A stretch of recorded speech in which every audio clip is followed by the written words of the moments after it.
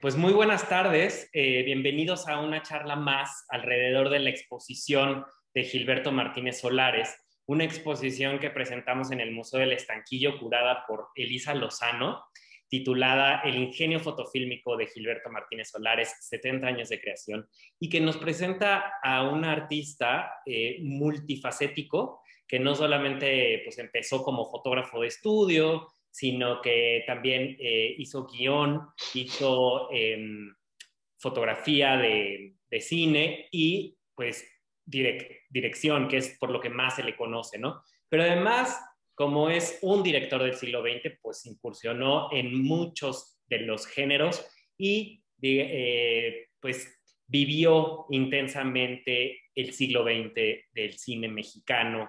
Em, pues con obras muy importantes en, de, eh, de, la época de oro del cine mexicano, de la comedia, del melodrama, em, del cine de jóvenes, del cine de terror, del cine de luchadores. Y bueno, entonces en esta ocasión, pues nos sentimos muy honrados de contar con la participación de Eduardo de la Vega, quien pues además de, de, colaborar para la exposición, pues este, también eh, se incluye un importante texto de él en el libro eh, que próximamente tendrán en sus manos. Así que me gustaría pues, presentar a, la curadora Elisa Lozano, quien nos va a presentar a nuestro invitado de hoy.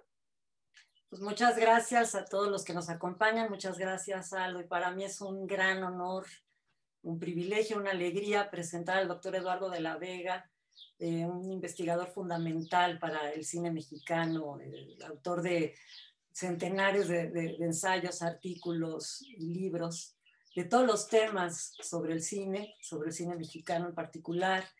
Eh, maestro mío, si no en las aulas, porque no he tenido, no tuve esa suerte, sí en la vida, porque yo lo leía mucho, mucho antes de conocerlo y el día que lo conocí para mí fue una gran emoción y desde entonces este, él ha sido tan generoso que ha colaborado en varios proyectos y en algunas locuras que hemos ideado.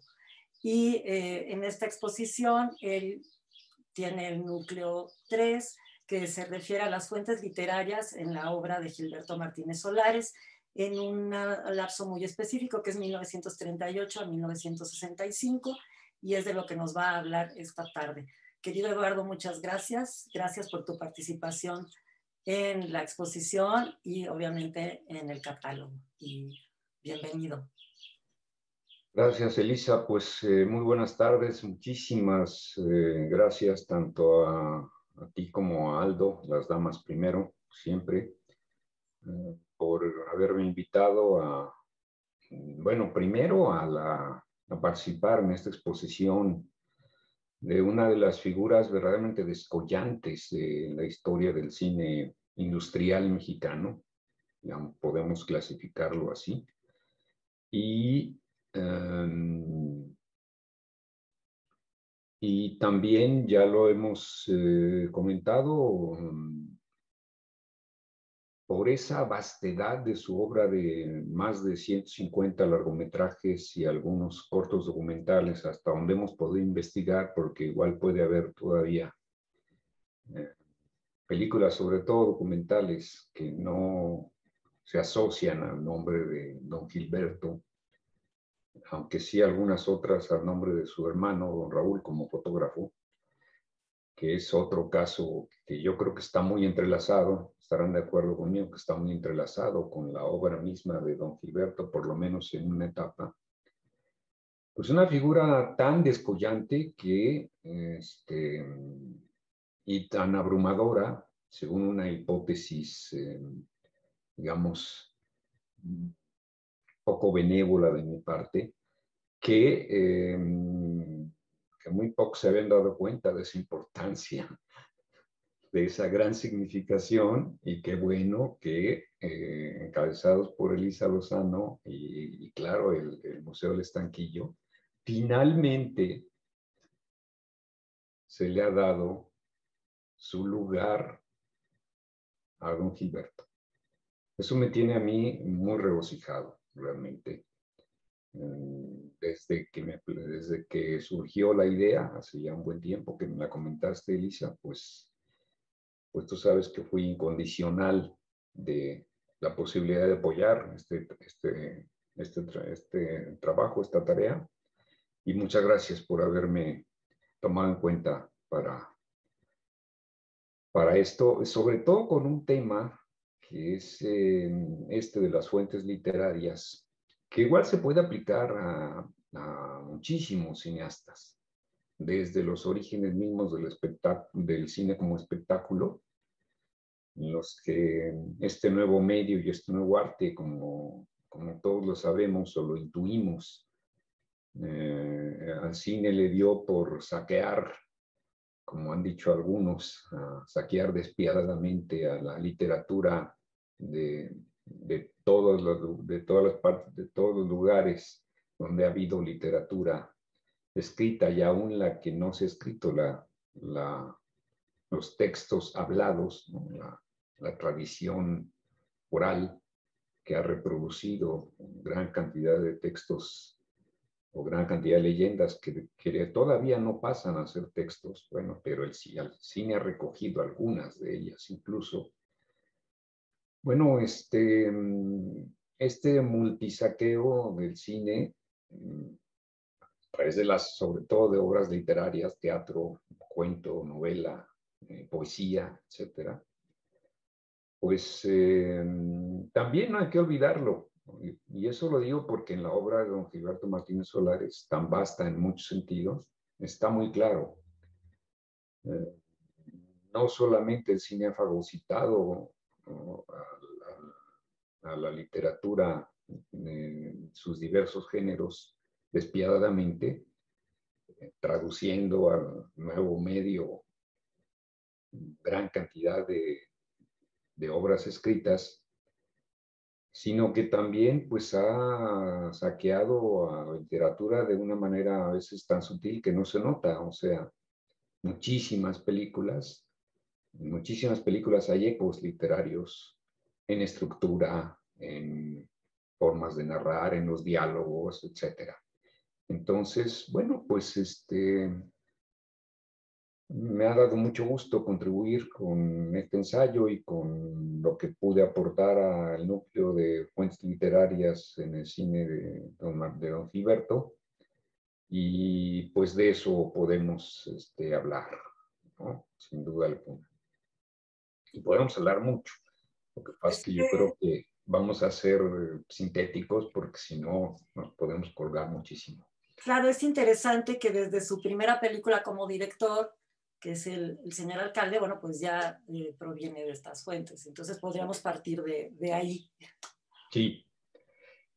Sí, claro, sin dejar de considerar lo que tú y otros quizá ya hablarán en su momento, de que Gilberto llega desde la fotografía fija a la foto fija cinematográfica, ya desde la versión sonora de Santa, según se ha podido investigar o constatar hasta cierto punto. Pero don Gilberto se pasa una buena cantidad de años, este, casi toda la década de los 30, haciendo foto fija, luego fotografía. Eh, animada, digamos, o como fotografía ya propiamente clínica. Mm, y creo que no es casual que haya debutado eh, ya como director y con una buena experiencia, con una carga de experiencia en el medio cinematográfico, con esta comedia, especie de comedia, El señor alcalde, eh, que es la adaptación junto con Emilio Fernández, su gran amigo desde Andanzas Hollywoodenses, un relato de Jorge Ferretis, el escritor potosino, que también luego rebotó en el medio cinematográfico eh, como funcionario. Y, y una, un texto muy curioso porque se adaptó bastante bien y creo yo que desde ahí están ya las huellas de ese interés que había manifestado, al parecer desde su infancia, don Gilberto, por la lectura, por conocer a fondo el mundo de la literatura um, y, y, por luego traducirlo al medio cinematográfico a través de guiones, argumentos y ya realización de películas.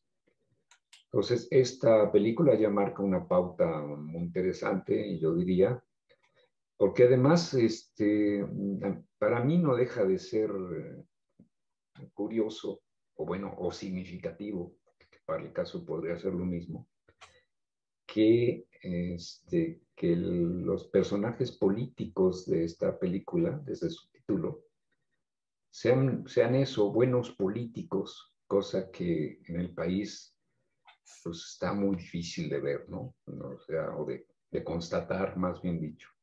Todo lo contrario. Entonces, este, a mí me llamó siempre la atención esto de que el político fuera bueno en la película, y es que, claro, se aludía al buen gobierno de Lázaro Cárdenas, que en el momento que se filma la película está expropiando el petróleo, está repartiendo la, la tierra de manera muy amplia en, la laguna y todo esto. Entonces, e, en ese momento el, ejercicio del poder para mucha gente se sintió como finalmente tenemos buenos políticos. Aunque no fuera el caso así real y de fondo, sino que pudo haber sido también hasta cierto punto una apariencia, pero sí había logros políticos. Entonces la película parte de esa idea y me parece que desde ahí está ya el interés. Eh, como que desde ahí mm, don Gilberto se da cuenta de la gran posibilidad que tiene adaptar al medio cinematográfico literatura mexicana, pero después se dará cuenta que también la literatura mundial.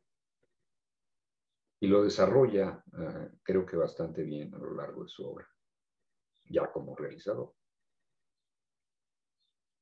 No sé si quieran Sí, bueno, esta película eh, tiene las actuaciones de Domingo Soler y Andrea Palma, que eran la pareja estelar de La Mujer del Puerto, nada menos, ¿no? Sí. Y a la película le fue, bastante bien, eh, por lo que pudimos ver en los periódicos del momento. tuvo muy buena aceptación de público. Entonces, él como que entra con el pie derecho, eran los años 30, pero creo que le va bastante bien. Es, eh, un estreno bastante aceptado, discreto, pero le va bien. Y entonces, como tú dices, después tiene muchas otras películas que eh, vienen de adaptaciones. No sé si quieras hablarnos cuáles para ti son las más significativas. No sé si La Luna de Don Juan o La Casa del Rencor o creo que Resurrección, Resurrección es un caso aparte porque es bastante notable. ¿no? Sí, y es un poco posterior. Sí, este, bueno, La locura de Don Juan es un muy buen ensayo también de adaptación, en este caso de una, de una obra teatral de Carlos Arniches, el dramaturgo español, que fue, yo diría que fue sobreexplotado por el cine mexicano y el cine, el cine español también en esos años, porque, bueno, es que además era un autor muy popular, en el sentido de que era muy conocido por públicos amplios, afectos al teatro. Eh, la Casa del Rencor también, que es, es ahí es donde ya empiezas a notar esta, este potencial que tiene don Gilberto como, también como, como alguien que está atentísimo a, las posibilidades de la literatura trasvasada o trasladada al medio cinematográfico, porque esta, esta película es una, una especie de síntesis o de simbiosis de, entre Cumbres Borrascosas, la, la, famosísima y célebre novela que fascinaba a los surrealistas.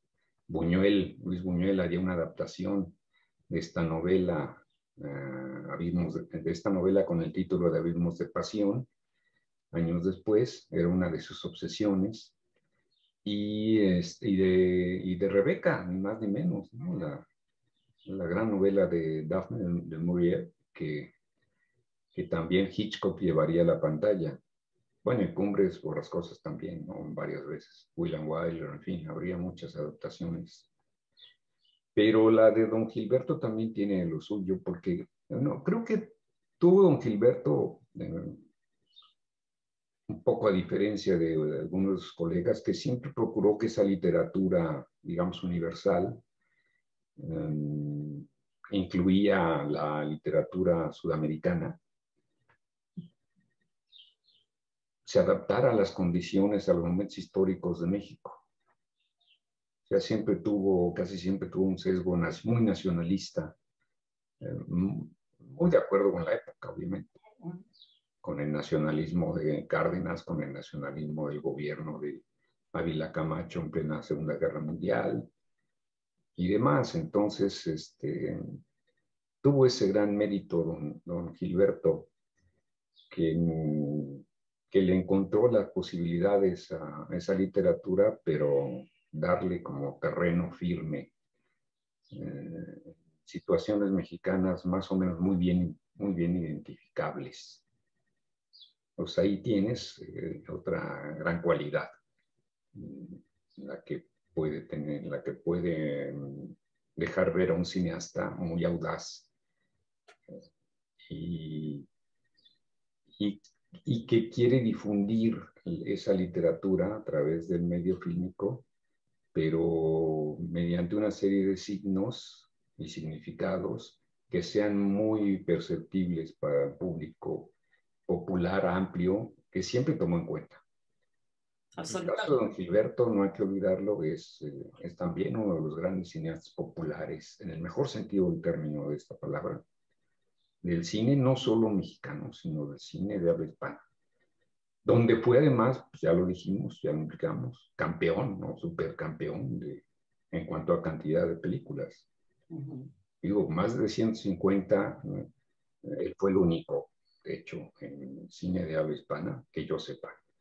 A lo mejor, bueno, en otra cinematografía sí hay casos, ¿no? Eh, así muy, muy prolíficos, pero en el caso del cine de habla hispana, don Gilberto fue el campeón, como un poco como esos campeones que quedan muchos años, excepcionales. Pedro Joffre, ¿no? En brasileño, 15 años, algo así, campeón. Peso gallo, pero bueno, son casos excepcionales. Entonces... Acabas de mencionar una palabra que es audaz. Siempre lo fue. Y además con, esta facilidad de que iba de un género a otro. Por ejemplo, la primera película que acabamos de mencionar, que acabas de mencionar, El señor alcalde, pues es una comedia, ¿no? De alguna manera. La Casa de Rencor ya es un, un drama tremendo. Sí, tremendo y tremebundo tremebundo, con muy buenos efectos especiales. El incendio, a mí me impresiona cómo en esta época pudieron lograr ese incendio, por ejemplo. Sí. Y cómo va cambiando esto de temas, de géneros.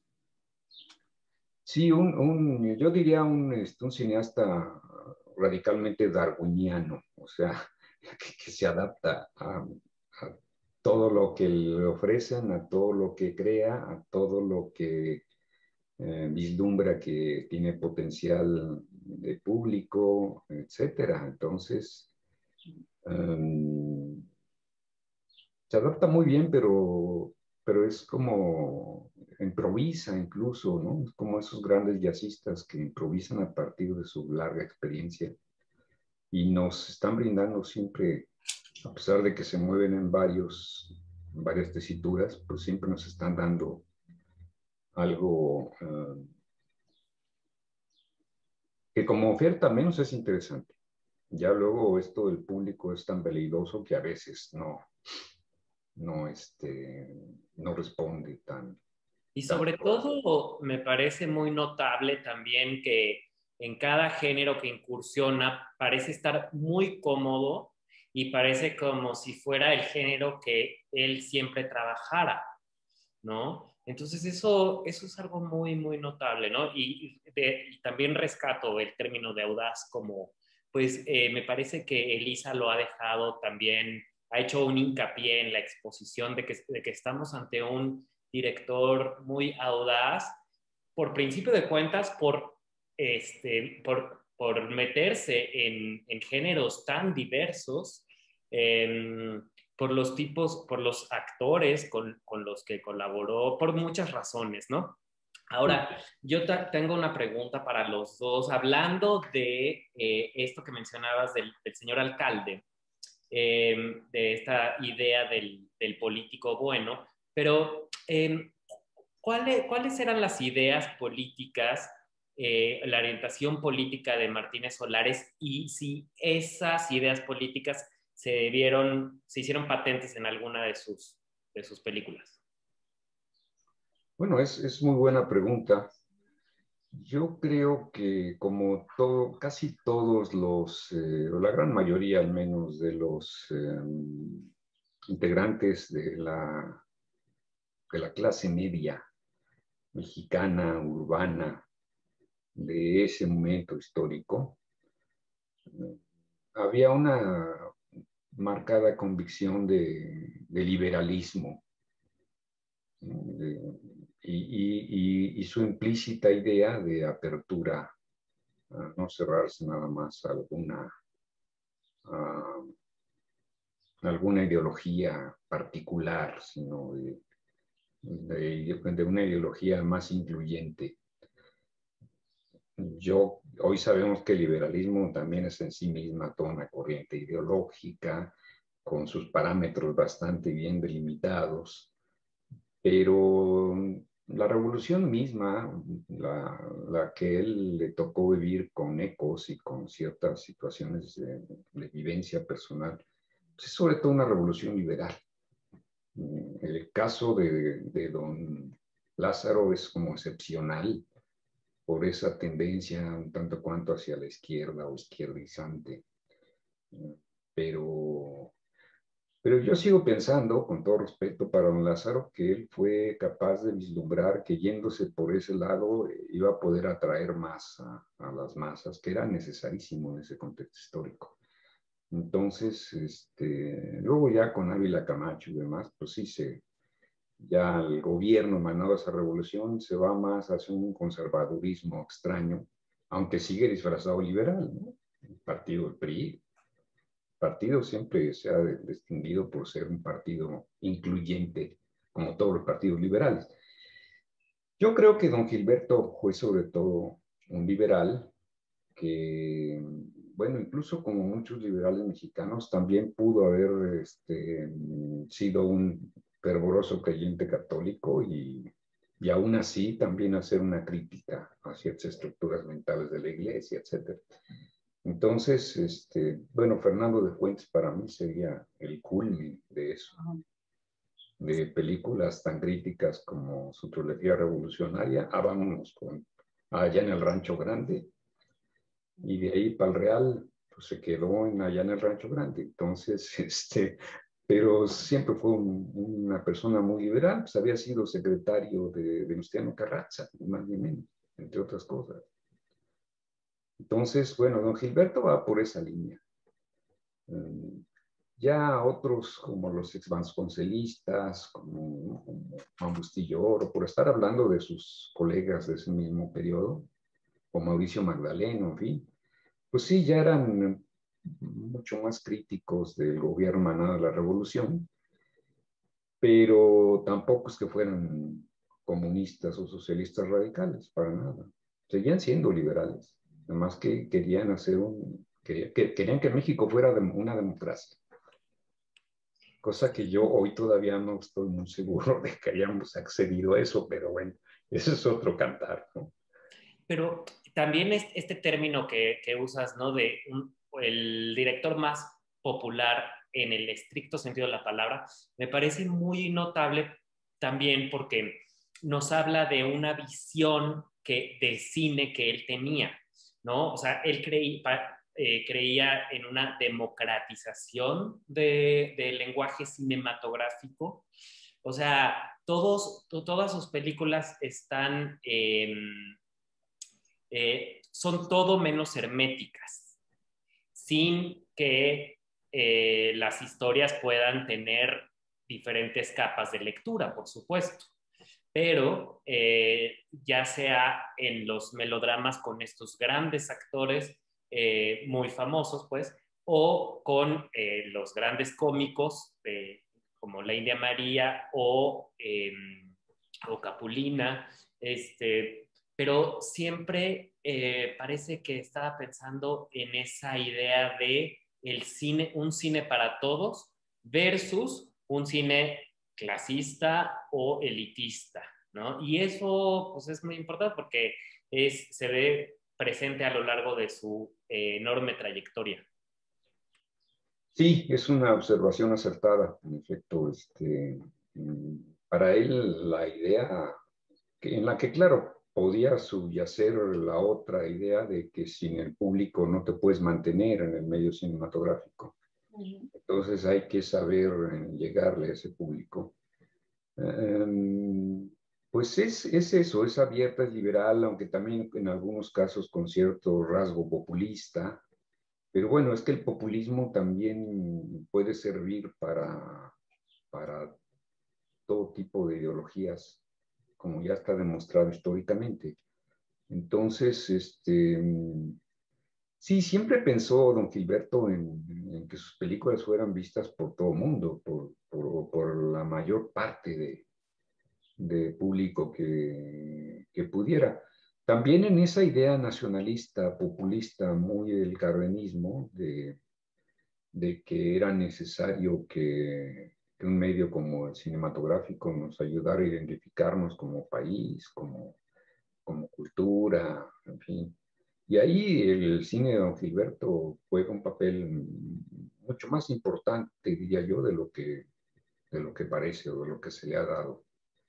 Eh, yo regreso a la idea de la exposición, pues la exposición es, es muy importante en la medida en que nos puede dar a conocer más a fondo esta figura, eh, que también es muy compleja, por lo mismo que estamos hablando. Es muy compleja.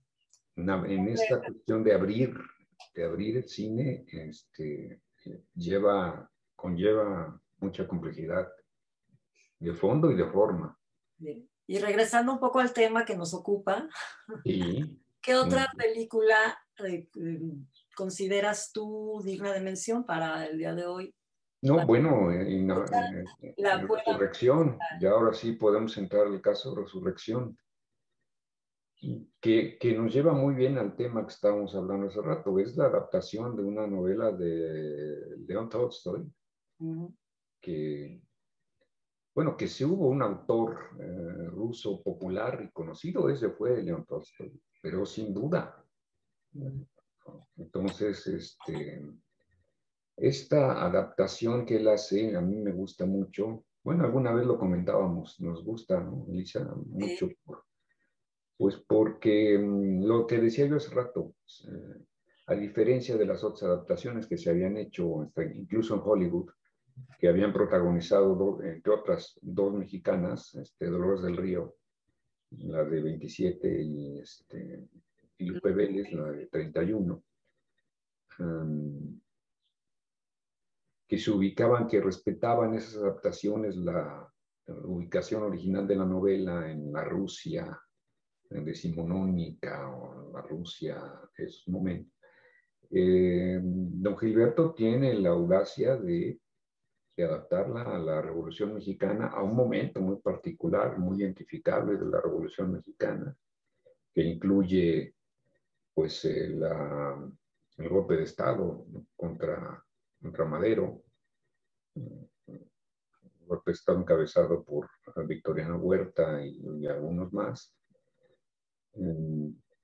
y que eso también le da a esa resonancia universal de la, texto de Tolstoy, le da ya, lo aterriza a un espacio muy particular y le da una dimensión también nacionalista de ciertos afanes populistas, pues, aunque ya aquí estamos hablando de la guerra, el momento de la Segunda Guerra Mundial, donde sí el nacionalismo ya es, se siente y se necesita todavía como em, más profundo más necesario, un tanto que más necesario. Porque sí, sí pendía sobre México la posibilidad de, ser un territorio invadido, aunque también se manipuló esta idea por las potencias del eje o ser utilizado por las potencias del eje Berlín-Roma-Tokio. Entonces, bueno, el cine fue el aparato de resonancia de estas ideas de la unidad nacional, etc. Y bueno, en Resurrección encontramos eso muy bien acoplado y tomado de la idea del gran escritor populista ruso, eh, Tolstoy, con muy buenas actuaciones y una espléndida fotografía, ¿no? Para, para, ahora sí que para no variar. Y, em, y me gusta también, bueno, los diálogos, en fin. Por ahí hay un momento que se cae dramáticamente, pero luego se recupera al final bastante bien. Me gusta mucho cómo, cómo también, ¿no? Gilberto, esa es otra característica de la mayoría de sus cines, que, que a veces hay momentos en que la película cae o decae, en cierto sentido al menos, dramáticamente me refiero, pero casi siempre logra mandar el artefacto para sacarla a flote, válgase la metáfora. Desde Resurrección o desde antes eh, ya se observa esto, pero bueno, también no hay que olvidar, pues, el cine mexicano, por más poderoso que haya sido en el mundo de habla hispana, pues no era Hollywood. No, no era Hollywood, tenía limitaciones presupuestales, materiales, etcétera, pero creo que Resurrección es una buena película precisamente por la historia, la magnífica fotografía de Raúl Martínez Solares. Y creo que Emilio Toero está muy bien. Yo, es de las mejores actuaciones que he visto a Emilio Toero. Es eh, galán, es conmovedor. La que está un poco fría, eh, Lupita Tobar, como que le falta un poco de pasión pero la película creo que está muy bien, este, Consuelo Guerrero de Luna tiene muy buenos actores, y la verdad la historia sí, sí te, te capta, te entretiene, eh, todavía aguanta el paso del tiempo, digo, se filmó en 43 o 44, no me acuerdo. 43, 43. O sea, imagínate, estamos en 2000. Exactamente a la mitad de la Segunda Guerra Mundial, digamos, el momento más intenso de la Segunda Guerra Mundial. Y bueno, es una película que todavía eh, creo que sí aguanta, ha aguantado. Aguanta sí. el tiempo. Sí, esta película, pues, su rodaje coincidió, bueno, aquí habría que hablar de una empresa, La Clasa. La Clasa. En la que don Gilberto se vuelve uno de los directores favoritos, junto con Emilio Fernández, precisamente, su viejo y gran amigo al que respetó mucho, y el que también se distanció, lo respetó tanto se distanció, bueno, porque el indio ya sabemos que se las traía. Pero, este, pero esta película coincidió su rodaje en los mismos estudios que Flor Silvestre, por ejemplo. Que esa sí es un portento de, de nacionalismo.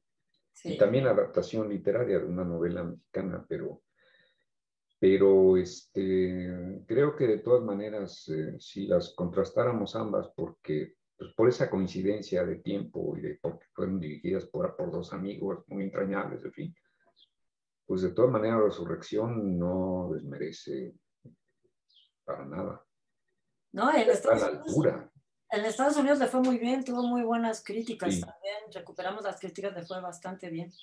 Sí, sí, sí, sí, porque creo que se vio mejor en, el extranjero que en México. Probablemente. Esta película en particular. Seguramente también gustó mucho, perdón, eh, gustó mucho entre el público latino, latino mm, mexicano. La nostalgia por México en ese momento, ¿no? Ya comenzaba el bracerismo, todo esto, entonces, pues por ahí también el consumo de tequila en esos años se incrementa en Estados Unidos. Entonces el tequila y el cine son como que el bálsamo para los emigrados. ¿Y qué bálsamos? Yo diría. El mejor bálsamo. Sí. Complementarios en ese sentido, además. Ahora, hay una cosa curiosa también en esa relación de Martínez Solares con el Indio Fernández.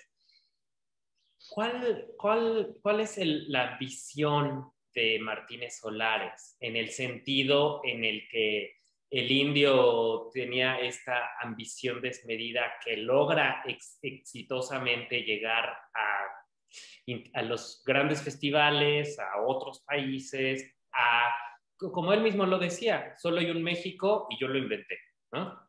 Entonces, pero ¿qué, qué ambicionaba Martínez Solares? Este, em, llegarle a, ese gran público mexicano eh, y si repercutía en otros países, pues bien, pero no era exactamente su, meta.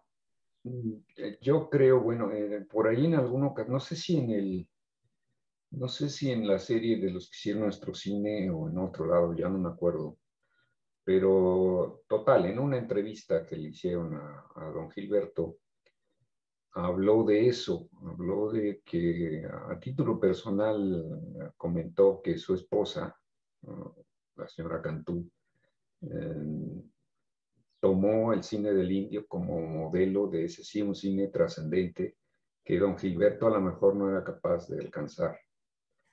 Entonces él, la respuesta de don Gilberto fue genial. Dice, bueno, el cine que yo hago, o sea, se refería a ese cine popular, con el paso del tiempo podrá ser mejor que el del indio. Y, entonces, este, bueno, sí, yo creo que son tan valiosos uno como el otro compararlo. Hice la comparación hace rato nada más por una cuestión circunstancial, pero, pero don Gilberto ambicionó más eh, llegar al público amplio, a las grandes capas, y por ahí intuyó que paso del tiempo lo iba a situar quizá mejor que, que el caso de Fernández, que que también tuvo repercusión nacional e internacional, le dieron premios y todo. Ahora, yo aquí abuso del tiempo quizá, pero sí quiero dejar en claro que los grandes premios internacionales al cine de Fernández, no hay que olvidarlo, fueron a Gabriel Figueroa. Sí, por la fotografía. Fueron a la fotografía, no, no, muy rara vez fue una mejor película o mejor dirección. ¿eh? Sí los hubo, pero pero el que arrasó con los premios de esos grandes festivales europeos fue de la fotografía de Gabriel Figueroa, que era la envoltura perfecta para los melodramas eh, o, y, o dramas del Indio Fernández. Pero, según yo, más melodramas que dramas, eso no le resta valor. Pero si don Gilberto no ganó ninguno de esos festivales, este, ganó el aprecio popular, hombre. Entonces eso también tiene un gran peso. Pues él decía que... De hecho, complementa al otro. Que era la mejor, la mejor crítica, de eso. tenía una frase así un poco como que la, la taquilla es la crítica no escrita. Sí, bueno, tenía razón. Bueno, o por lo menos es otra forma de crítica. Es lo que le importaba. Este, sí, sí, sí. Tenía razón y además, este, pues, ¿cuántos éxitos taquilleros tuvo? Muchos. innumerables, ¿no? Sí, hasta, hasta los últimos años. O sea, sus. Tuvo sus crisis también, la pasó muy mal, porque nosotros creemos que todo el tiempo estuvo en jauja y no, bueno, mal no que tuvo sus crisis, ¿no? Este, además de repente lo timaron por ahí y demás, pero bueno, nos estamos desviando, nos estamos desviando del tema. Sí, nos estamos desviando mucho, pero, no, pero estamos creo que complementando bien una visión que nos permite ya trabajar mejor el tema.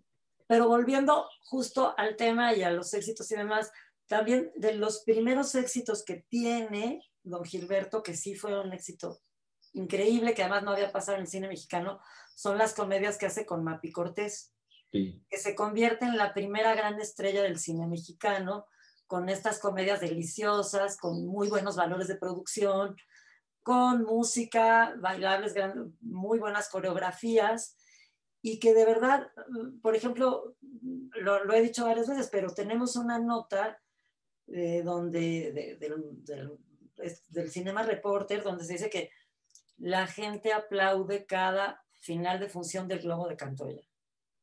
Y eso nunca había pasado en México. El Globo de Cantoya además es una obra maestra.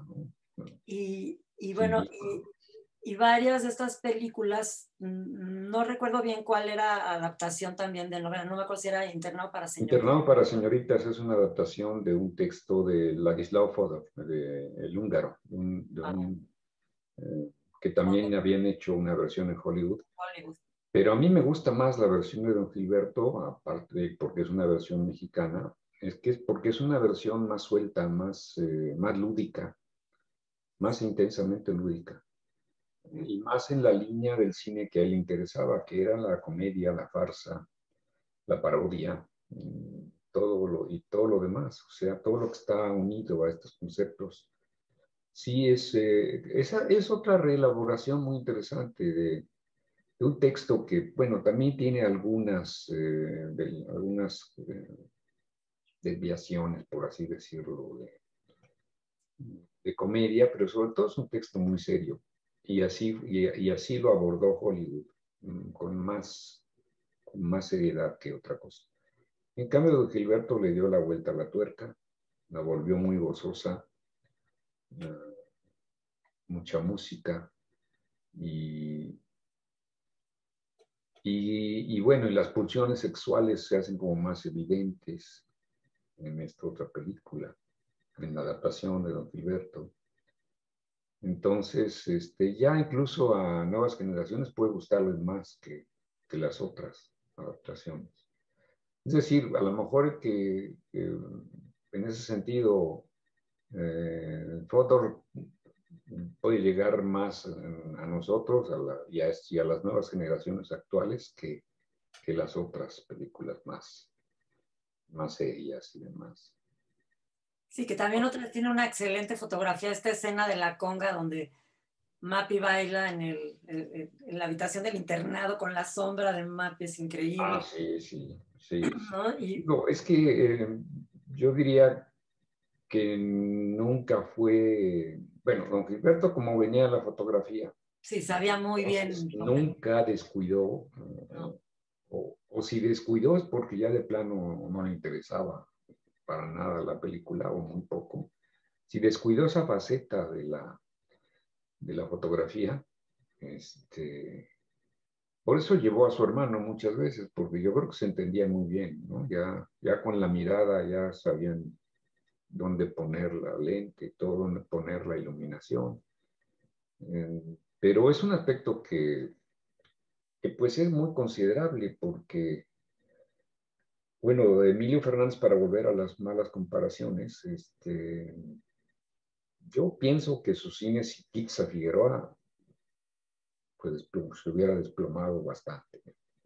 Es una hipótesis, no comentaría. Pero, pero por eso recalqué hace rato que los premios al cine de Emilio Fernández vamos matizando, no fueron a Emilio Fernández, parece... fotógrafo Gabriel Figueroa. Sí, y me parece muy justo eh, eh, que no hay que perder de vista ese dato, ¿no? O sea, sí, está Venecia, sí está Cannes, pero es a Figueroa. Sí. sí, o sea, si a premios vamos. Bueno, yo no me voy a poner aquí a polemizar. El doctor de la Vega también es muy audaz.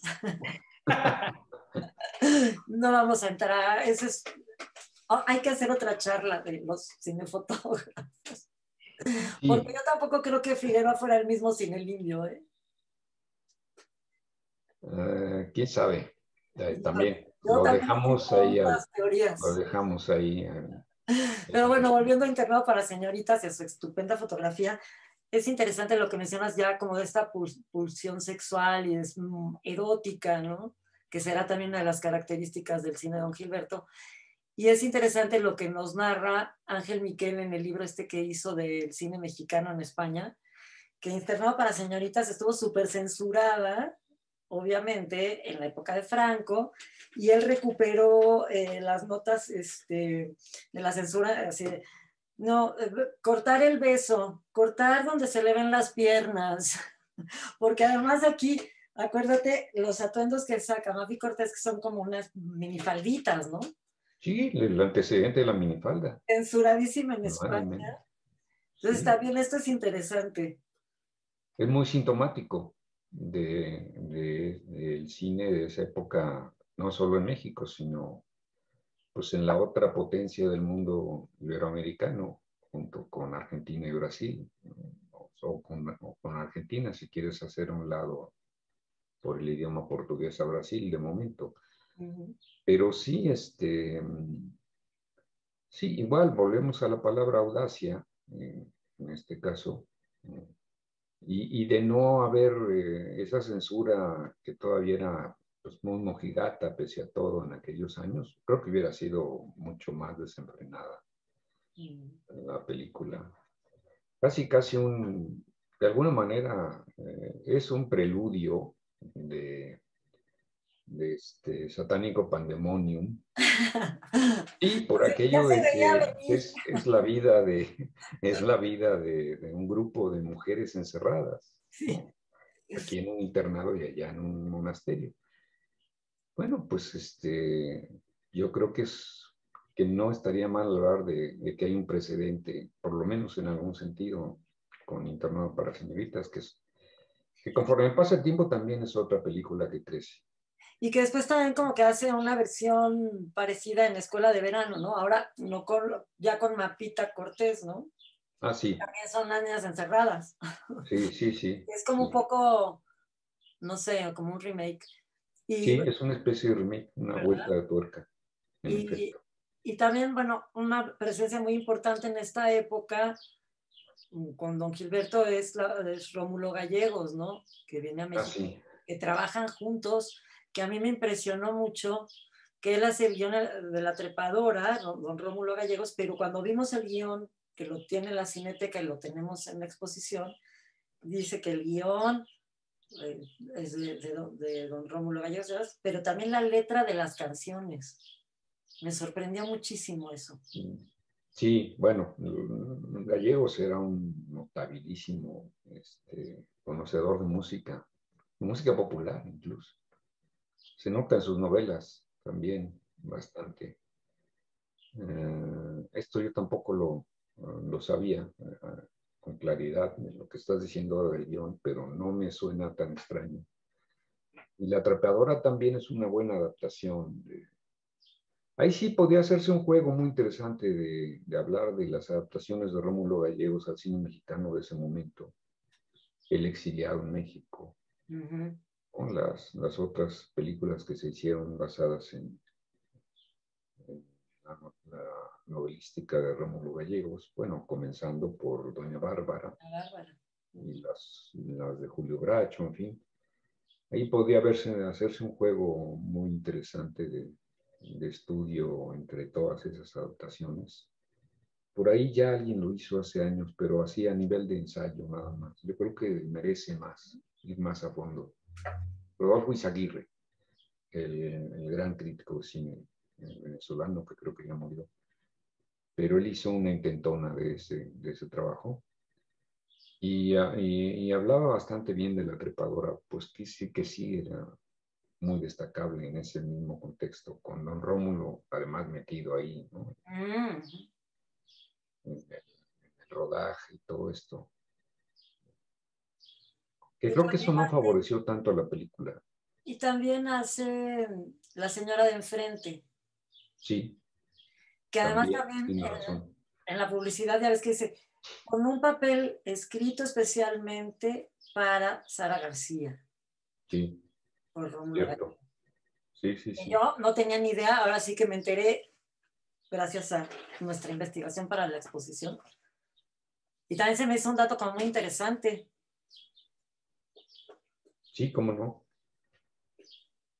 Ah, bueno, aquí lo que tenemos es el caso de un gran literato bueno, y hasta político, don Rómulo, este, sudamericano. No es, aquí no es el, saqueo que, que, hizo el cine mexicano, porque las otras de las que hablamos, Resurrección, incluso Internado para Señoritas, fueron producto, no hay que olvidarlo, del saqueo que hizo la industria fílmica mexicana supliendo en parte Hollywood en ese contexto de guerra que pues los autores si vivían pues, no te, o, los, o los herederos no te podían perseguir estaban en guerra ¿no? entonces escondiéndose de los nazis o qué sé yo entonces se aprovechó esa coyuntura para universalizar al cine mexicano. Y ahí don Gilberto jugó un buen papel pero en ese proceso también se fagocitó la literatura sudamericana, sobre todo la de don Rómulo. Entonces, este, es muy interesante, al menos también, y muy significativo de, ese, de la literatura adaptada al cine mexicano en esa época. Claro, es que ya el cine mexicano, la industria fílmica mexicana en particular, es, eh, pues es la industria cultural más importante del mundo de habla hispana, ahí sí. Ya alcanzó ese estatus pues, gracias a las condiciones de la guerra, muchas otras coyunturas.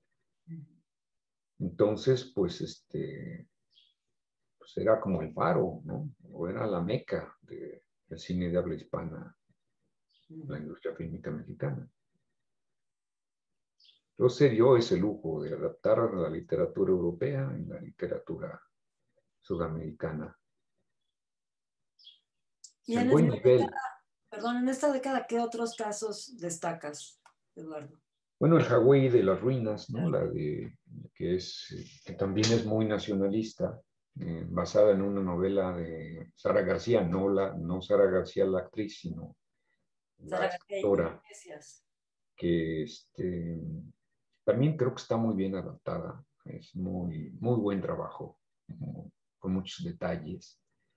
Y, y, ahí creo que sí se refleja muy bien, se expresa muy bien ese liberalismo del que hablamos hace rato de parte de don Gilberto. Ese liberalismo mezclado con el nacionalismo de la Segunda Guerra Mundial está creo que muy bien expresado en la película o por medio de esta película. Claro, todos estos cineastas se sentían eh, impulsados para hacer del cine mexicano el, el baluarte, la, el escudo de defensa de integración nacional y latinoamericana, por otro lado. Por eso incluyeron a, Don Rómulo, a la literatura de Don Rómulo y algunos otros este, sudamericanos.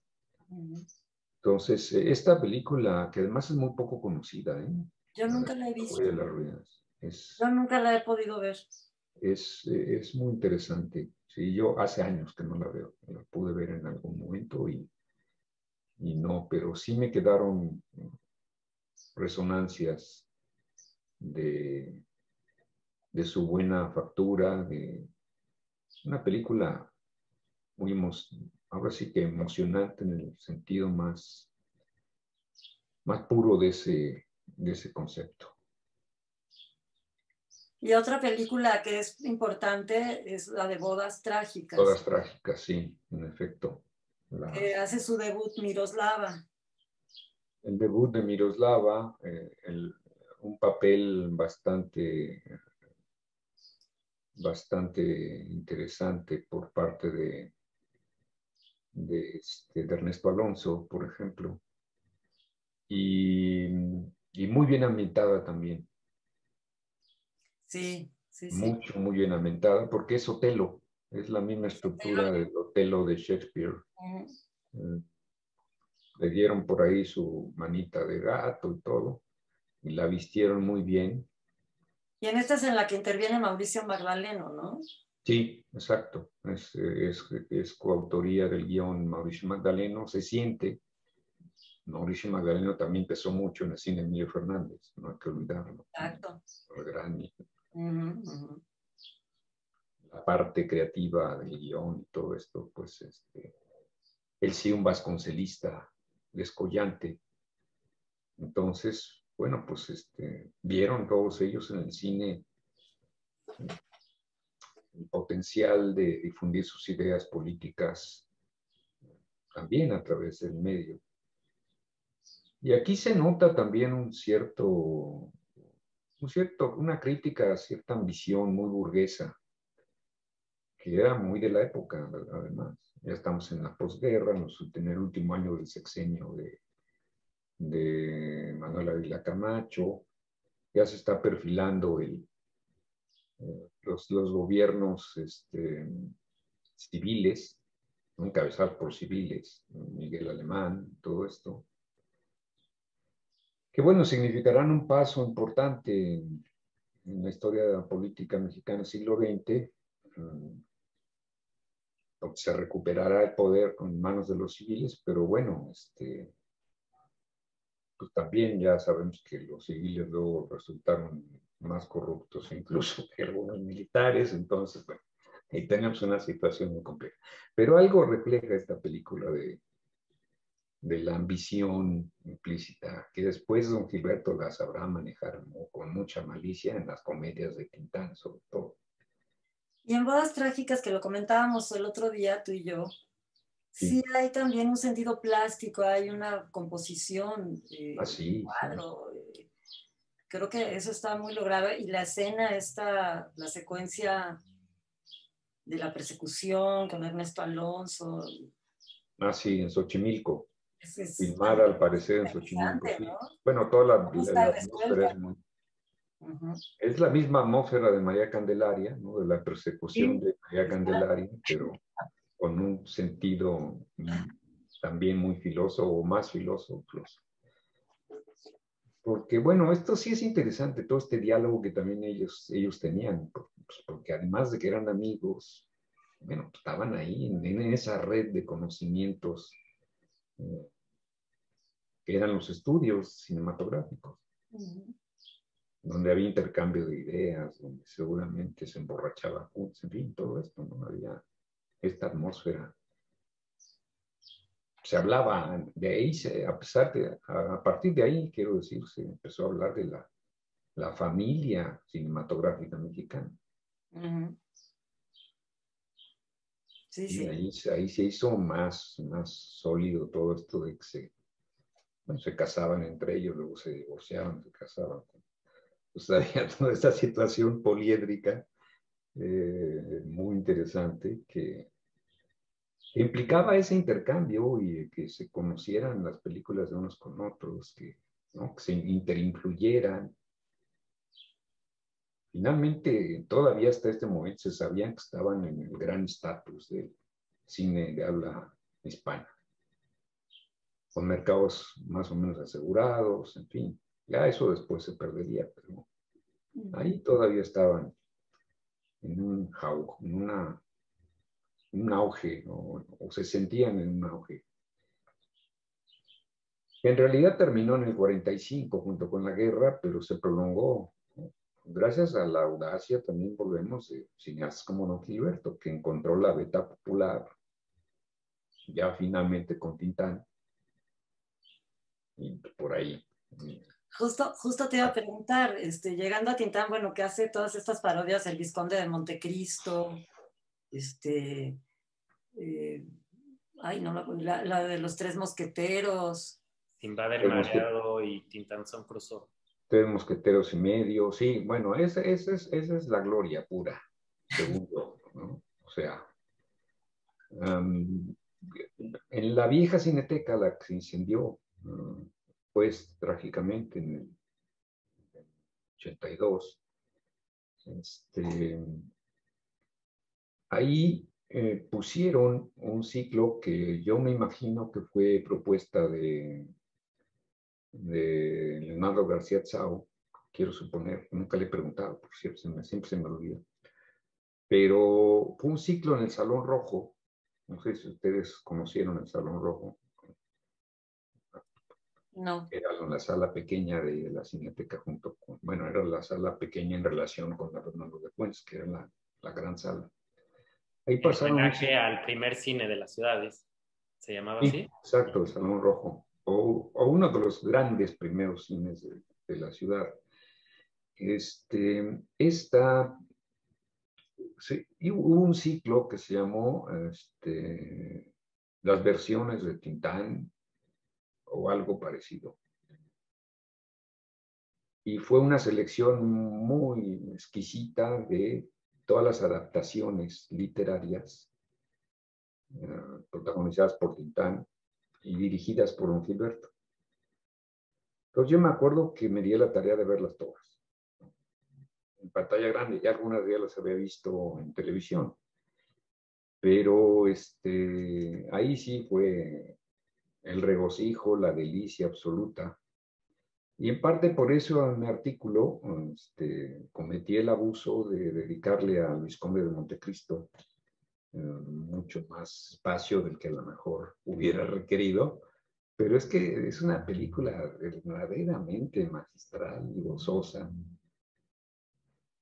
porque para seguir en esta línea es una, una doble o hasta triple parodia en sí misma. Es, es la parodia a la novela en la que está inspirada, ¿no?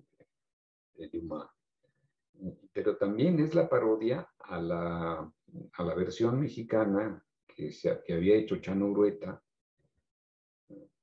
unos años antes, con, con también un reparto, con mucho dinero, con mucha inversión y todo, ¿no? y con un reparto encabezado por Arturo de Córdoba. No sé si conozcan esa versión con Chano Urueta, que era pues, en ese momento también otro de los cineastas y otro de los más prolíficos, por cierto.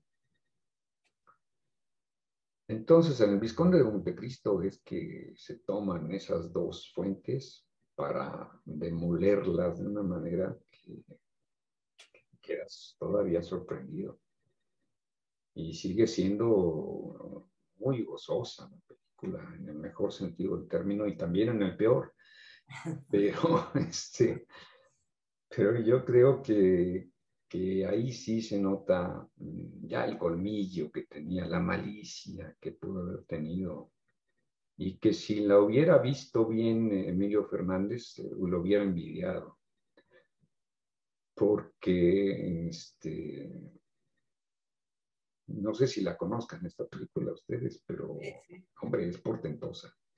Sí, es muy divertida verdaderamente portentosa. Y, bueno, está Juan García Peralvillo como autor de los diálogos. Y también es, es, regalo aparte. Y bueno, y Tintán prodigioso. Para y Ana en fin, un cuadro del cual para hacer una parodia no se podía esperar nada mejor. Pero yo creo que todas esas parodias, Invaden Mareado, El Ceniciento, Chucho el Remendado, están basadas también en películas y en la tradición oral de esos grandes, este, esos grandes, mm, perdón, va a tomar un poco de agua. De esos, grandes... Este, que, es, que ya lo hemos comentado en charlas anteriores, que es una película totalmente entrañable. ¿Cuál? El Ceniciento. Ah, el Ceniciento. Entrañable. Es, otra obra maestra para, empezar, así, ya, nada más. Y también en este caso tomando una fuente de literatura infantil, francesa o europea, que ya tiene también sus grandes antecedentes, este, incluso en el cine de Georges Méliès. Entonces, este, bueno, no se puede esperar más. Cenicienta es prodigiosa. Y el Visconde me gusta mucho, y el Bello Durmiente, y lo que le pasó a Sansón. En fin, todo eso yo creo que es un universo aparte. Y la marca del zorrillo también. Ah, ah claro, claro. Y Tres Mosqueteros y Medio, que además es una parodia a la, a la versión de Cantinflas. También quiere poner en, en jaque la versión de Cantinflas. Entonces, em, por intertextualidad, no paramos en el cine de Don Gilberto. Y, en el mejor sentido, estoy queriendo decir. Mm. Lo que le pasó a Sansón es que es prodigiosa también. Yo a veces, eh, perdón que sea tan personal el asunto, lo haga tan personal, pero a veces me duermo recordando esas películas para reírme de la vida un poco. Entonces, este, pero qué curioso que sean esas y no otras, ¿no? las de Keaton o Chaplin, que también son portentosas, sino las de las de don Gilberto Martín Solares, dirigiendo a Tintán, que es el complemento perfecto, ya lo hemos dicho, ¿no? Ya se ha dicho mucho. Es el binomio, yo diría, perfecto. Sí, muchas horas de, de, risas le tenemos que agradecer. Y de Tintanzón, cruzó, el, sultán descalzo, que también tiene reminiscencias de la literatura eh, clásica, en este caso árabe, Entonces, bueno, ya no puedes pedir más. Con ese, ese yo creo, ese núcleo de cine, si lo sacas de toda la obra de, Don Gilberto, es el que sí históricamente eh, ha trascendido tanto o a lo mejor más que el cine de Emilio Fernández de esa misma época. Con la ventaja de que ya, de que cuando ya eh, se hacen estas películas, que ya son adelantados los 40, eh, ya el cine de Emilio Fernández, pues ya, dio todo de sí, siendo, siendo sinceros. Ya esporádicamente hará una gran película más adelante, pero pero ya como que esta fórmula Fernández, Figueroa, Magdaleno, eh, Dolores, Pedro Armendáriz, ya había llegado como, como que a su cúspide. Y ya desde ahí no le tocó más que descender. ¿Cómo? Caballos, zarapes, trenzas. Sí, pero ya de ahí ya lo único que hubo fue descender. Con algunos momentos excepcionales en la carrera de En cambio, en esos años, ahí es donde empieza a despuntar en otro sentido la carrera de don Gilberto, eh, volviendo a saquear la literatura y el cine, el cine clásico de, su época. Entonces ahí hay un juego muy interesante porque es doble o triple eh, parodia o dimensiones paródicas triples o, o parangoneando un poco vulgar, este, eh, carambolas de tres o cuatro bandas. No sé si estoy exagerando, pero pues estoy hablando desde el fondo bestial del entusiasmo. Bueno, y del, profundo conocimiento, doctor de la Vega. Bueno, de ahí, pues, este, ya habiendo dejado claro este periodo pintanesco muy muy referido a la literatura y el cine. Eh, pues eh, hay otra película que me gusta mucho, eh, Mulata, que es también una adaptación de una obra de Roberto Olivencia Márquez, ubicada en la Cuba esclavista, en, el marco de la Cuba esclavista, con Ninón Sevilla, con Pedro Mendaris, que bueno, serían los, actores, los actores más antitéticos de esa época. Y sin embargo, pues sí se logró un, buen equilibrio de, de, estos dos actores. Ninón, perdón, Ninón en un papel muy distinto a los que acostumbraba.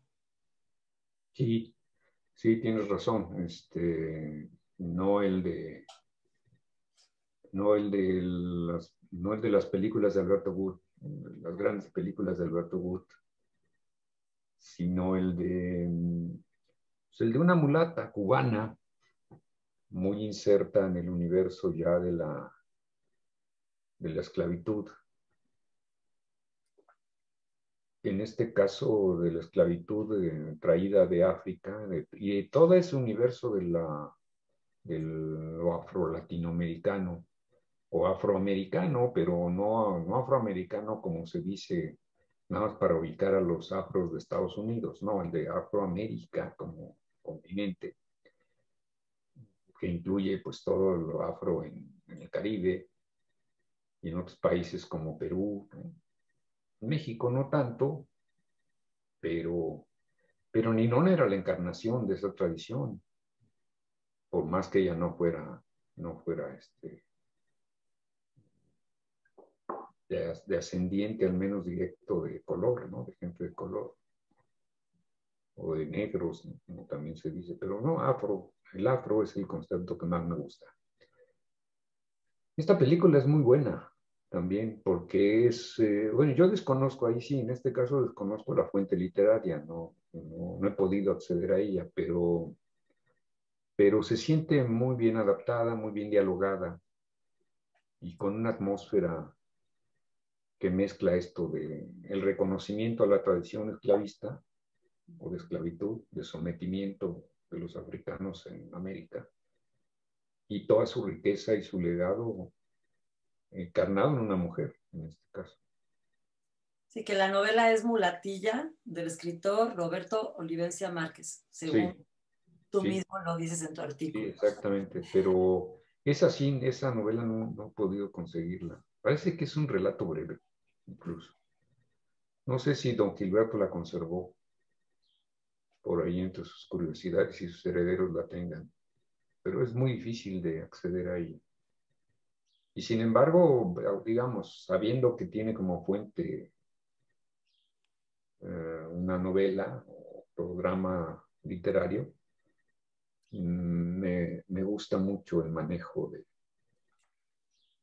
de atmósferas, de tiempos, de fotografía también, la fotografía muy brillante. Y ahora que o sea, lo que decías de esa, ese dueto con este de Ninón Sevilla y de Pedro Armendariz, pues eso también me parece muy eh, sorprendente, muy extraordinario. Todos, toda esta constelación de estrellas con las que, eh, que actuaron para sus películas, ¿no? O sea, es que era estrella tras estrella tras estrella. Entonces, em, bueno, vamos, o sea, Mapi Cortés, Sara García, este, B, Emilio Tuero, Esther, este, Fernández, Arturo de Córdoba, La India María, Angélica María, Julio Alemán, este, eh, El Santo, eh, Blue Demon, eh, Heidi, Bloom. O sea, entonces, este, es... Clavillazo, en fin, no. Clavillazo. Es que es eh, el cine de, en el cine de don, de don Gilberto creo que más, por su, por, su, por su cantidad misma, pero también por su calidad, este, ahí sí que podemos hacer un recorrido serio de la, de la historia del cine mexicano, sin obviar ni géneros, ni actores, ni, bueno, quizá por ahí algún actor, ¿no? Pero, Exacto, Isela Vega, M. Chabot, o sea... Isela Vega, ¿no? Los que tienen que estar estuvieron en su cine. Bueno, y este, hasta Alfonso Sayas, ¿no? Sayas es el ídolo, el ídolo de José Luis Ortega, si alcancé a escuchar bien en, el programa anterior, muy respetable. Pero este, no, pero Sayas también tuvo sus, buenos momentos, sin duda alguna, sus grandes momentos. Sí. Y luego de ahí, bueno, hay, hay las Leandras, por ejemplo. Hay una película muy interesante, Vuelta al Paraíso, que es, eh, ahí está, ahí la, está la presencia de Manuel Alto Laguirre, el gran poeta del exilio español, bueno, uno de los grandes poetas, que también participó con Buñuel en el cine, en el medio cinematográfico y todo. Y y es una película en la que hay resonancias de la poética de don, de don Manuel Alto Laguirre, según mi temeraria hipótesis.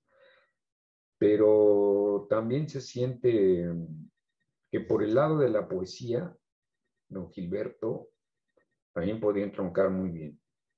Y, o sea, fuentes literarias vamos. Porque una cosa es, bueno, adaptar la novela, otra es el teatro, el cuento, o algunas otras formas de la épica pero la poesía no es tan fácil de, adaptar, no es tan deglutible por el cine, por así decirlo, de no ser por el cine de vanguardia, surrealismo, en fin. Pero esta película creo que no desmerece gran cosa, ¿eh? o no desmerece más bien. Es otra de las películas que hay que rescatar en la, filmografía de de don Gilberto que don Gilberto era un hombre muy culto, que leía mucho y que, como decía Malú, tenía una biblioteca suculenta, decía Malú. Porque la gente cree que como hacía comedia, pues no era culto, y no, hay como cierto prejuicio, y era un hombre cultísimo. Sí, sí, bueno, su cine lo demuestra, por un lado, también su gusto, pero por el otro yo creo que que no solo era la comedia y la comedia popular o populista, sino que para hacer esa comedia también necesitas un background cultural muy fuerte. Así es. Mucha inteligencia y mucha sofisticación también. Y, sensibilidad, muy especial, una sensibilidad eh, y, un, y, una disposición al, al goce. Y le gustaba mucho, particularmente también eso, le gustaba mucho la poesía. Sí, Sí, bueno, en esta película sí se deja ver algo de eso, mucho. depende también del enfoque. Creo que hay momentos que son, sí, densamente poéticos. Hay que volver a verla. Yo hace mucho que no la veo. Sí, sí, hay que verla con atención. Yo creo que sí rebota bastante el trabajo poético de don Manuel Patolaguirre. Como que una simbiosis en ese caso muy interesante entre, entre ellos dos. Y que no podía pensarse tanto, más bien ahí en la simbiosis entre Buñuel y Alto Aguirre, claro, era evidente. por, la formación, por la vocación vanguardista, por lo que tú quieras. Y sin embargo, con Gilberto parece que sí hubo un, sí, un entrelazamiento muy interesante. Y, habría otra película que me gusta mucho, que es, este, bueno, que me gusta, en primer término, son Las Leandras, que es otra, que es una especie de mezcla de zarzuela y de todo esto. También bastante bien llevada. Es lo que te iba a preguntar, a ver, ¿por qué te gusta Las Leandras? ¿Qué es lo que te gusta? Me gusta que están bien adaptado todo este universo de, eh, la zarzuela y, de lo español, de, la herencia hispana en México. Está bien, está muy bien logrado. Que en su momento no se haya entendido así, bueno, ese es otro problema. Pero, aunque a veces tiene sus raros criss-cross por ahí internos, pero yo creo que finalmente se salva por, por, por, el ambiente y también... El ambiente, las actuaciones, que también son de muy buen nivel. Enrique Rambal, que era una maravilla también. Enrique Rambal, que era muy buen actor, sin duda. Y también tenía ese filón cómico, satírico, muy bueno. Y está Rosario Durcal y no me acuerdo quién más. Está Rosario Durcal, sí, y están... Bueno, hay, hay digamos, un trasfondo también muy español, muy del, de la herencia, del lo que yo he llamado muy temerariamente el cine español en el exilio mexicano. Bueno, hasta en esta película también se siente, ¿no? Se siente más quizá en, en los 30, 40, hay más peso, pero, pero también hasta esta película se deja sentir. Y, y, bueno, ya de ahí pues este, serán ya muy pocas adaptaciones en general del cine de Don Gilberto al, medio, a ese medio, medio fílmico. Pero bueno, por ejemplo, en, Marcelo y María, que es una película muy denostada en su momento, um, pues qué mayor audacia que en ese momento, mediados de los 60, traer a, Longo, el, poeta y novelista griego del siglo II de nuestra, ya de nuestra era, traerlo a México. O sea, digo, solo a don Gilberto. sí. Por las razones que hayan sido, o sea, ahí sería cuestión en investigarlo, pero, pero la película Incluso ya por eso sí mismo es interesante. De las mil posibilidades de adaptación que podría haber tenido, ¿no? pudo haber buscado y encontrado, pues eh, Daphne y Chloe, que es, que es la novela en la que está inspirada, adaptada al medio mexicano, el campesinado mexicano, siempre marginado, indígena, etcétera. Pues hombre, ¿no? se las gasta, se las gastaba. Que es el debut de Ana Martín. Y, de Ana Martín, Martínez Solares, su sobrino, que es, pues, bueno, fue un galán. Sí. Con cierta importancia. Pero aquí yo creo que sí es un poco artificial, ¿no? Este, no sé, eh, también hace años que no la veo, no la he conseguido, pero desde el atuendo, eh, sí es como, híjole, no sé.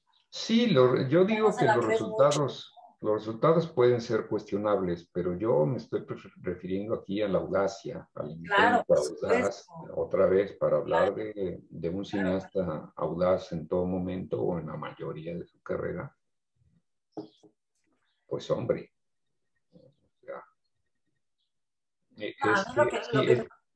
Perdón, es que nada más es, muy difícil eh, adaptar, ahí sí, en este caso, adaptar al medio mexicano eh, todo este universo, este, esta cosmovisión grecolatina, o más bien griega, de este texto. Y a lo mejor también se trataba de, pues, de aprovechar el desnudo de Ana Martín, de todo lo que tú quieras, pero, pero no, bueno, este, pues como por audacia no paramos aquí, en este caso.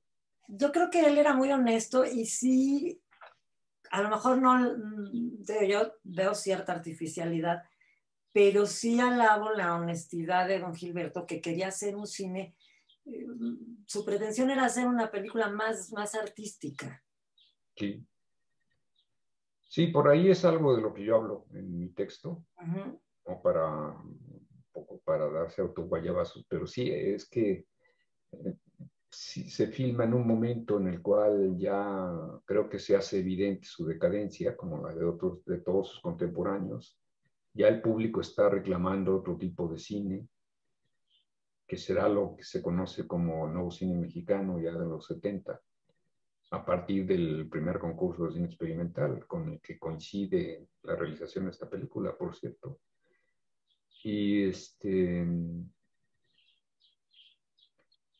Y, tiene su ambición, pero, su, pero es una ambición a lo mejor desmesurada, pero finalmente es una expresión de esa personalidad. vámonos, vámonos al salongo, o sea, hombre. O sea, es, legítima. Es, o sea, es, legítimo.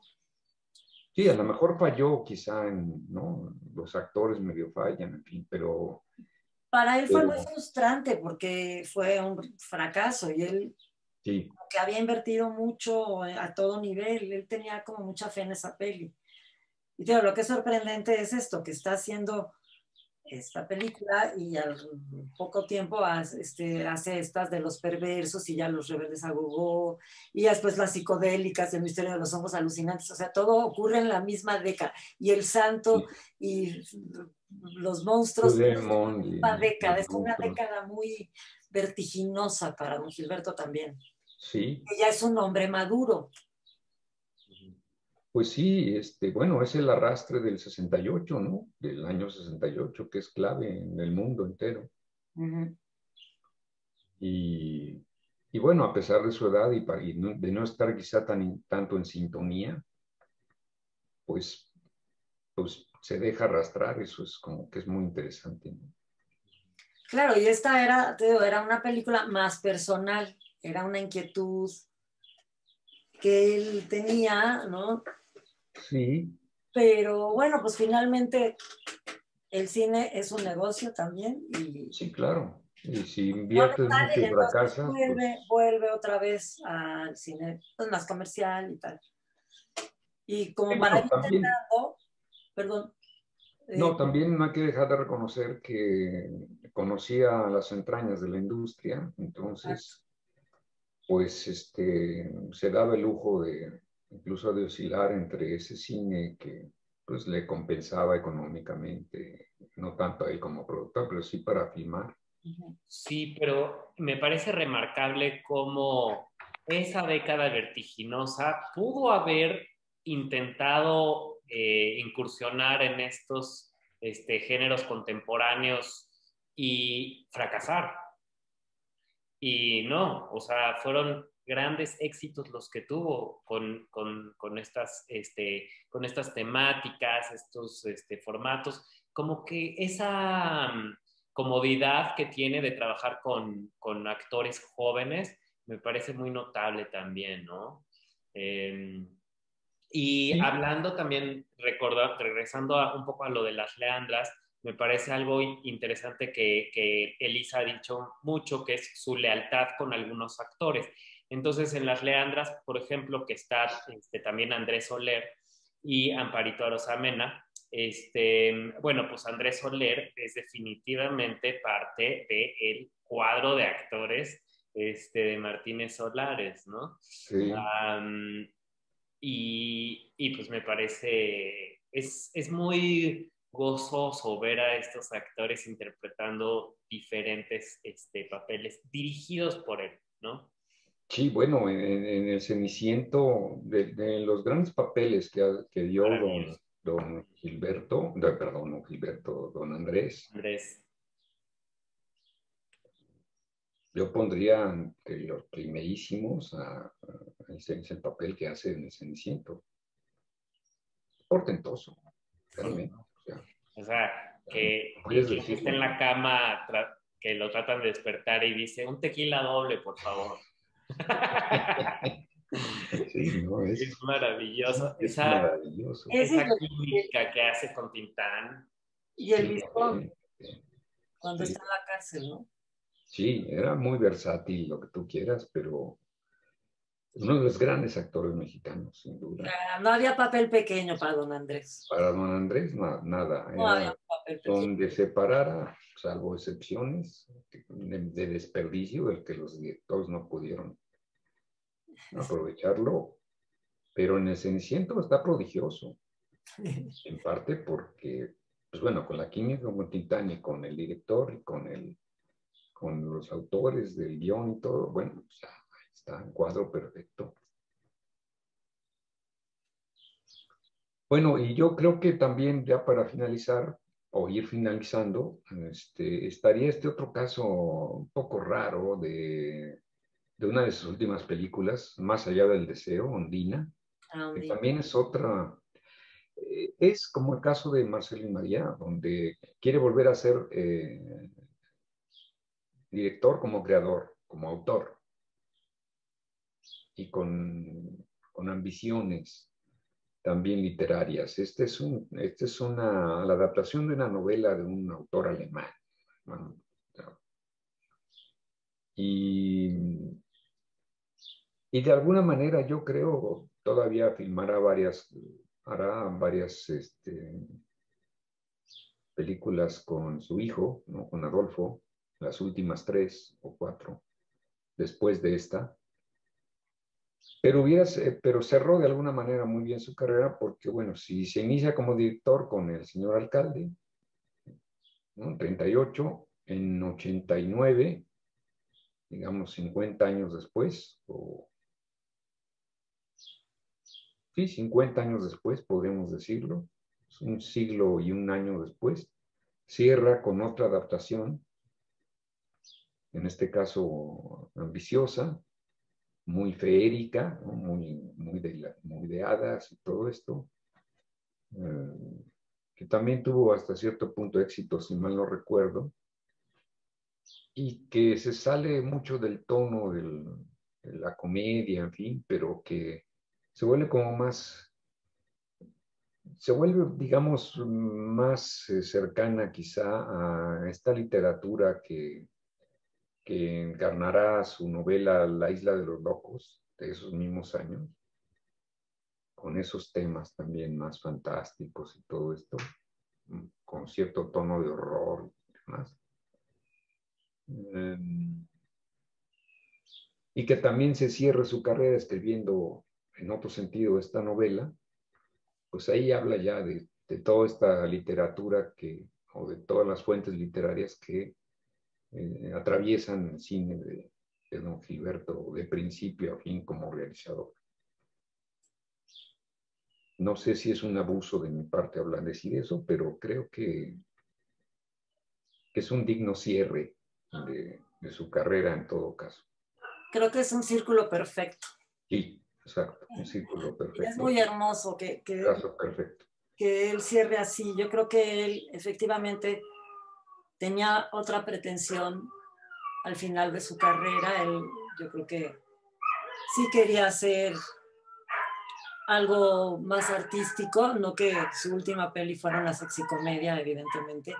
Él creo que era muy consciente de ello, que esto iba a ser ya como su legado y su cierre. Y, y bueno, finalmente no la pudo ver terminada, pero eh, ahí está. Sí, Sí, eso, ese, en todo caso, ese es un cierre más digno, por más que sus exicomedias hayan sido también codirigidas y, y exitosas o muy exitosas.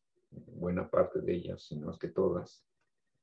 Um, pero bueno, estas exicomedias en todo caso también hay un intento de reverdecer a, al momento aquel glorioso de Quintán y de los cómicos populares y demás, solo que con otro sentido. Pero ya digamos al, al, al literato cinematográfico, si le podemos llamar así, pues ahí está. Eh, Ondina es un, digno cierre. Pues que ha hecho no solo en, las posteridades de su carrera, sino de su vida misma. Sí, porque además también habla de una coherencia también. Sí, habla de una coherencia del hombre, del hombre de cultura. Exacto. En todas sus dimensiones, la cultura popular, la cultura refinada, pero de, del hombre que volvemos al principio también para nosotros darle la vuelta, del hombre que sí, que merece una exposición en ese espacio tan popular que es el mero centro de la Ciudad de México y, concretamente se esquina de Madero e Isabel la Católica. Madero probablemente sea hoy una de las calles más transitadas del mundo, por lo menos esa impresión me da. Definitivamente. Y que nos emociona que esté ahí por múltiples motivos y porque además ahí estaba su estudio a la vuelta. Entonces también es otro círculo que simbólicamente creo que se cierra de alguna manera o se abre. Sí, eso es muy bonito. Sí, o se cierra para abrirse, no viene en elipse. y que además, pues, Carlos Monsiváis apreciaba el trabajo de Martínez Solares. Eh, ah, sí muy, muy, este, no, pues realmente lo, lo apreciaba, sabía de lo que, lo que tenemos en nuestras manos, ¿no? Y lo gozaba, sí, bueno, eh, Monsiváis sin duda el gran conocedor de la cultura popular mexicana. Pues no podía dejar a un lado reconocer y saber de, de este caso. Y además que, que, tenía este buen ojo y sabía tanto de, de, de, fotografía mexicana que no es casual que en su colección tengamos estas bellísimas impresiones de época, estos retratos de, de figuras de la danza o de actrices, de actores. O sea, él sabía perfectamente quién era don Gilberto también como fotógrafo de estudio. Y para nosotros, pues es un gozo porque también nos ha enriquecido muchísimo la exposición. Y pues bueno, también como ya cerrando, Eduardo, otra vez muchísimas gracias por todo lo que aportas a la exposición, por todo lo que aprendemos de ti siempre, los que tenemos la fortuna de verte. No, yo también sigo aprendiendo mucho y seguro cuando vea la exposición, que ya, como te dije, ya soñé un día estar yo dentro de la exposición. no se puede pedir más. Este, ya cuando la vea in situ, en presencia, pues creo que que me emocionaré muchísimo. Y pues gracias Aldo también por la hospitalidad. Gracias Aldo. no, gracias a ti, muchas, muchas gracias por este, pues, por esta conversación. Espero, que, espero que sirva a la difusión de la exposición. Sí, bueno. Es un tema muy, muy interesante y poco abordado. Yo creo que la gente no se imagina todo esto del cine de Martínez Solares. ¿eh? Yo creo que la gente no se imagina que ha visto tantas películas de Martínez Solares. Sin duda. ¿no? Sin duda. Eh, y, bueno, sí, esto sirve para la difusión, pero también es una gran fuente eh, este, para investigación, ¿no? Todos estos videos, aparte, se van a quedar en, nuestros, en nuestro canal de YouTube. Entonces, pues sirve para cualquier persona que sea aficionada al cine, pero investigadores también. Eh, entonces, bueno, pues es, es, es, una, es uno de los productos de esta exposición, de esta exhaustiva investigación que ha hecho Elisa Lozano, que se nota en la exposición que está compuesta mm, por fotografías, este, lobby cards, eh, carteles, eh, carteles de todo tipo, ya van a ver una gran sorpresa este, también. Vestuario. Carteles muy, muy manuales. ¿Mm? Vestuario. También. Vestuario, eh, testimonios de artistas que trabajaron con él, ¿no? Actores, de Poncianito, de, de Rosita Arenas, o sea, en fin. y, y bueno, es una exposición donde no hay ningún cabo suelto. O sea, nos presenta a ese Martínez Solares como ese gran artista que, que es y que lo debemos este, pues, dimensionar eh, y seguir conociendo, seguir investigándolo, seguir, sobre todo disfrutándolo, ¿no? También. Sí, ver sus películas, volver a ver las películas. Mira, por ejemplo, con esto que platicamos con Eduardo, yo ya quiero conseguir todas estas películas que no he visto. Totalmente, ¿no? Entonces, este, pues recordarle a la gente que, a todos los que nos hacen el favor de vernos, que estamos en el corazón del centro histórico, en uno de los edificios más bonitos del centro histórico, en La Esmeralda, en Isabela Católica 26, esquina Madero, que es un museo con entrada gratuita y que estamos abiertos de miércoles a lunes, de 10 de la mañana a 6 de la tarde. Entonces, eh, tienen que venir a esta exposición imperdible. Muchísimas gracias, estoy encantado.